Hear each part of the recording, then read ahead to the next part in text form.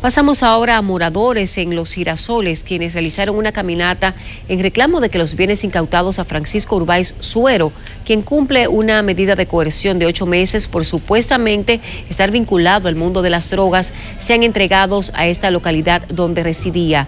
Desde hace días o desde hace tres meses, estas personas hacen reclamos por los daños que supuestamente ocasionó Urbáez Suero a esa comunidad.